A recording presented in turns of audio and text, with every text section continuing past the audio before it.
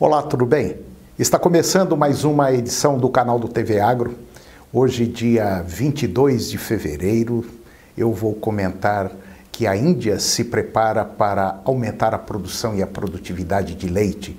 Boiadas escassas em algumas regiões do país fez o preço subir e foi prorrogado para 30 de março o prazo para pagamento das dívidas do programa BNDES Pro CDD Agro. O canal do TV Agro já está no ar.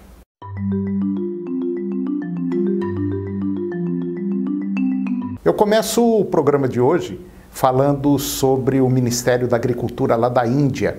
O Ministério da Agricultura da Índia está, vamos dizer assim, comprometido a dobrar a renda dos agricultores indianos até o ano de 2022. Uma questão de planejamento governamental proporcionando dessa forma uma maior acesso eh, de leite e fortalecimento da infraestrutura láctea para ajudar na geração da receita e também o aumento da remuneração. O gabinete ele deu a sua aprovação para um novo projeto de lei de agroexportação que não visava apenas dobrar a renda dos agricultores, mas também as exportações indianas em geral para a quantia de 60 bilhões de dólares através do Fundo de Desenvolvimento e Processamento de Infraestrutura de Lácteos, foi estabelecido um investimento de 1 bilhão 130 milhões de dólares para equipar os produtores de leite com tecnologia de refrigeração, equipamentos de testes de leite, além de expandir as instalações de fabricação de produtos lácteos nas aldeias.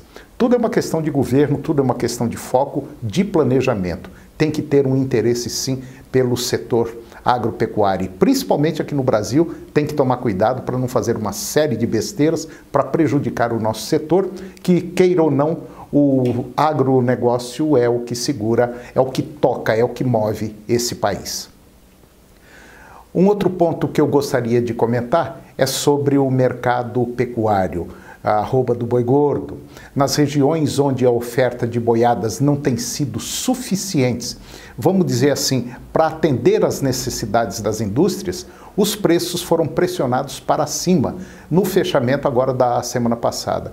É um dos exemplos é lá no Maranhão, por exemplo, que o preço da arroba subiu por volta de 0,7%, mais ou menos aí na faixa de um real por arroba. Isso numa comparação diária.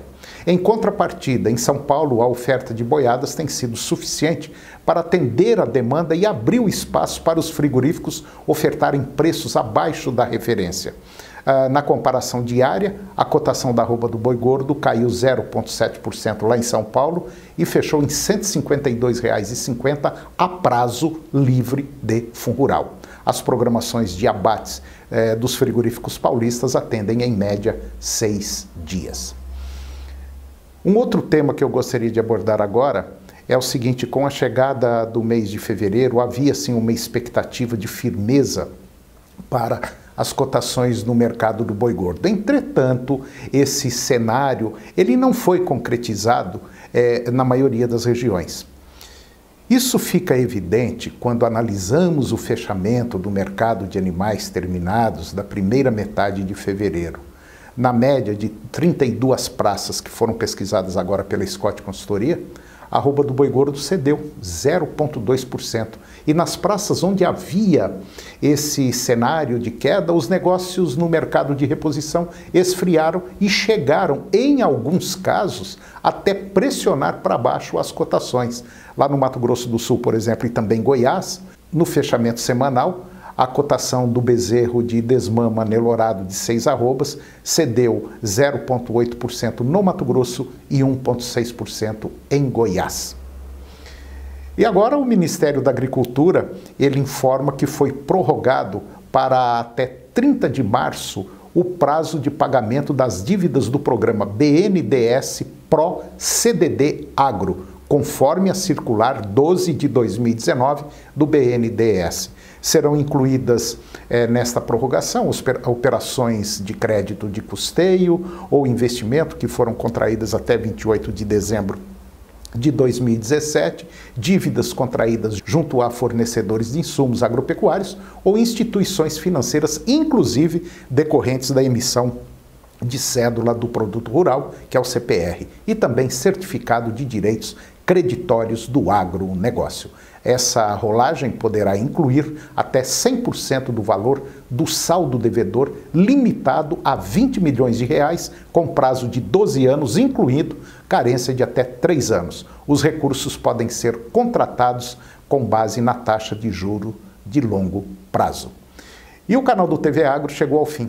E eu termino o nosso programa de hoje com a seguinte frase: Viva uma vida boa e honrada. Assim, quando você ficar mais velho e pensar no passado, poderá obter prazer uma segunda vez. Um grande abraço, um bom dia e até o próximo programa.